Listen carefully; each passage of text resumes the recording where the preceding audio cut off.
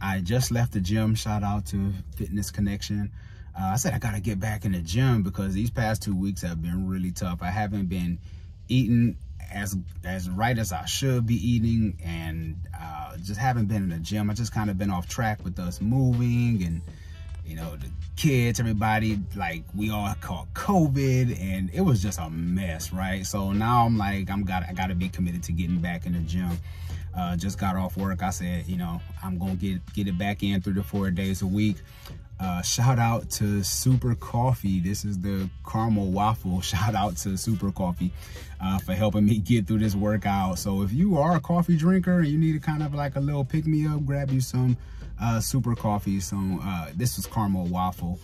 I like it. It doesn't cause you to crash after you drink it for a while. It's only 80 calories, um, three grams of carbs, and 10 grams of protein, right? So shout out to all the coffee drinkers. If this is something that you need for a pick me up, you get into the gym.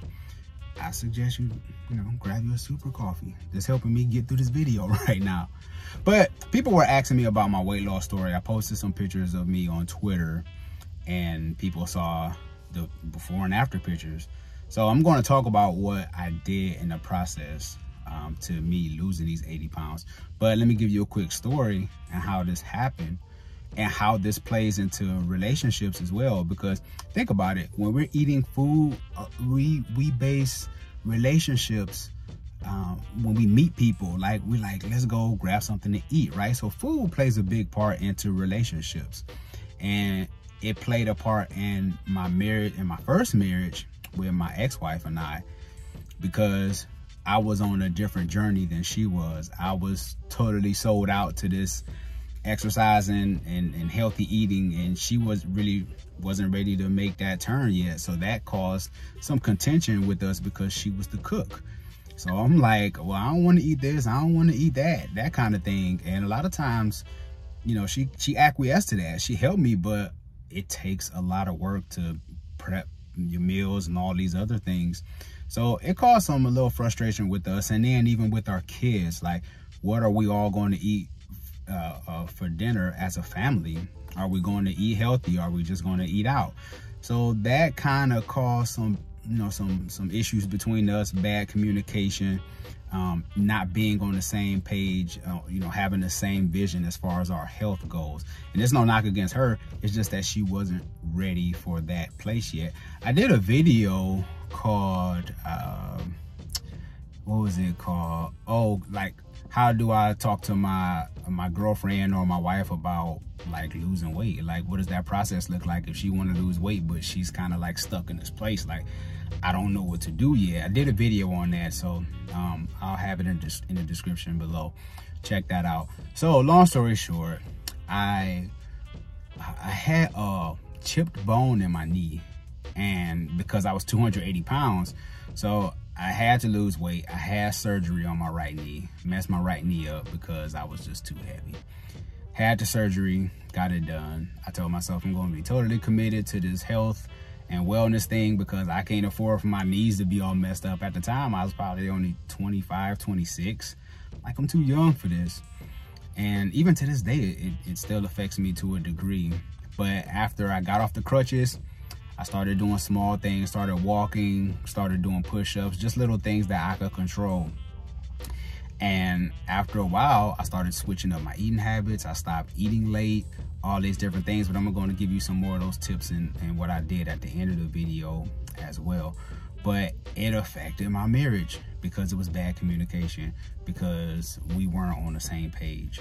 And that's how it can affect your relationship. So if you are with someone and you're ready to make that change and they're not, you have to show that person some grace and you have to lead by example. Because remember and i always tell people change starts with me. You can't make anybody do anything. Only thing you can do is lead by example. And that's what i did. Um, for me i started exercising. I started doing the uh, this was during the time when the px90 i think was like like insanity and all those little dvds and stuff were out at the time but the workouts I was doing was uh, UFC. It was these these DVD sets called UFC Fit, and uh, it was like a 90 day challenge. And I was doing that faithfully, and the weight came off and I was eating right, eating healthy, drinking my water.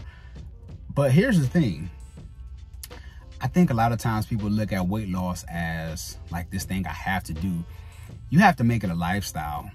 It's not something that, oh, I just want to drop 15, 20 pounds and then I'm going to get back to, you know, eating bad and all the other stuff. No, if you're going to make this a lifestyle, you got to be committed to it.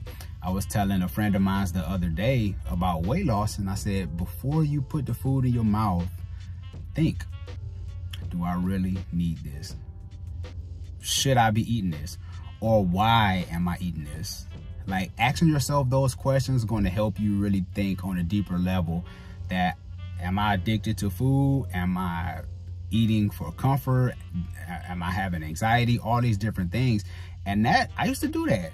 Matter of fact, I still do. I'm thinking, do I need to eat these cookies right now before I put them in my mouth? And a lot of times I think we eat mindlessly, whether if that's in front of our TV, in front of our phone. Uh, I, I seen a study that showed that people eat more in front of the TV because they're not thinking, because they pass that point in their mind where they're like, I'm full.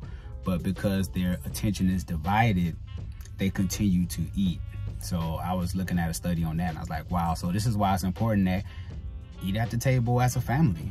Everybody, you know, no phones. This is a no Wi-Fi zone, you know, and I'm trying to work on that with my family and and the kids, but because we have little kids, it's it's tough. But that was a practice that I, I put into play where I was like, I'm not gonna sit in front of the TV while I eat. That's another little small thing that can help you. That when you're eating, just eat at the table, no phone, and you can focus on, okay, I'm full. I don't need to get seconds. And if I do get seconds, why am I getting seconds? See what I'm saying? So it's more, it's more psychological than anything, but I believe that if I lost 80 pounds and kept the weight off, because this this has been over 10 years, right? And I, I'm still at 200 pounds. But now at 45, I'm realizing that the things I used to do to get in shape, I have to step my game up. I have to be a little more uh, thoughtful in my in my exercise now because I just can't drop the weight like I did before because I was younger. So now it looks a little different for me. So I said, let me kick it up a notch so I can get to where I want to be um, physically. But let me give you this real quick, some tips that help me out because I know you waited for the end of the video. On top of exercising, now this is my tip. I think a lot of people get overwhelmed with eating right and exercising and I think that's where a lot of people go wrong start with one of the two first. You don't have to do both of them at the same time. And I know I, am not a, a, a, doctor, sports doctor, all this other stuff. I'm just giving you my experience. I, I, I did the work. I dropped the 80 pounds and kept the weight off for years. So I would say do one of the two first. Either you're going to eat right first and then you start to incorporate exercise or you're going to exercise first and then incorporate the eating healthy eat, eating healthy habits so I, I would say choose one whatever you think is easier for you so that's my first one the second one is uh, if you're going to as far as eating if you're going to eat don't eat late like eating in the bed and stuff like that and, and I used to stop eating past six so if you're working a day shift job, see, I work nights, so it's a little more complicated for me. But if you're working days, if you're in the bed at nine o'clock, stop eating at six. No, no more eating. But the thing is, you can eat what you want, just don't eat after six.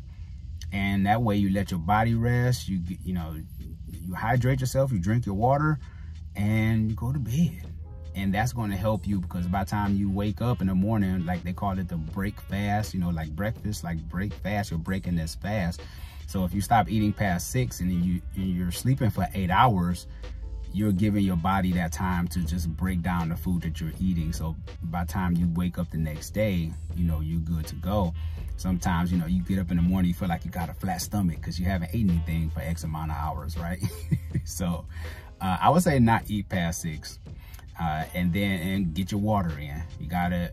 I mean, I think we don't count the the the, uh, the liquid calories. We don't count that. Whether if that's alcohol, whether if that's uh, coffee, um, juice, sugary drinks, like cut back on your sugar intake if you can. That's going to help you as well. And also make sure you get your checkups because you never know. And I know as men, a lot of times we don't like going to the doctor, but got to get your checkup. That's very important because ladies don't struggle in that area. We we struggle in that area more than anything with men and getting your checkup. So that way you know where you're at as far as as a baseline. So I would say those things. Just if you can stop eating before uh, by the time six o'clock come, if you can stop eating by then, that'll work. Get, get in your water intake. And then when you wake up in the morning, the first thing you do before you drink coffee, drink a bottle of water. That's going to help you as well because that's going to fill you up. So especially if you're a, a breakfast person, like you got to eat first thing in the morning, drink a bottle of water first and that's going to fill you up. And it's going to really like set the pace for you for the day when it comes to eating. Um, and you'll be full faster when you drink a bottle of water first, the first thing you do in the morning. Make sure you take your vitamins and if you're exercising, you can start off by walking. You don't have to go and do a, a you know, P90X coming out the gate. Just start walking, get your 10,000 steps in. Um, and those little small things are going to help you. And throughout the course of time, you will see the weight come off. And then pretty soon, it's going to be a lifestyle. It's not going to be something that you just want to do so you can fit in that little red dress or, uh, you know, you just want to want to look good as a man and get your, you know, your little muscles up until um, you, you reach your goal and then you stop eating right and just stop sleeping. And oh, and that's another thing too. Make sure you get your rest. Uh, that's very important as well. So try to get those eight hours. Um, turn off Instagram, turn off Twitter, uh, Facebook, and all those things, and uh, get the necessary rest that you need so your body can recover. So those are my tips. I hope those help you. Again, I'm not a doctor. Um, you know, I'm not a nutritionist and all that stuff. I'm just saying what worked for me over the course of 15 years and keeping the weight off. Um, and, and, and, glory to God, I don't have to take any medications. Like I don't have high blood pressure. I don't have diabetes, all those things. So I'm, I'm grateful for that. Um, and we all fall off the wagon. You know, things happen. I get it. I ain't saying condemn yourself if you eat ice cream. If you eat ice cream, that's cool. Just make it a lifestyle to where this is what you do every day. This isn't something that you're just doing temporarily. So hopefully that helped you. Uh, and remember, if you do have a partner who is struggling with their weight, or you feel like you're on this journey by yourself and your significant other isn't down, down with you, you know, just be the example. And once you see, once they see the weight come off, then it's going to inspire them to want to do better as well. So hopefully that was uh, helpful to you. This is Sean Heineman, your premier pre-engagement coach, but coach at it's scary to remarry. Take care, people.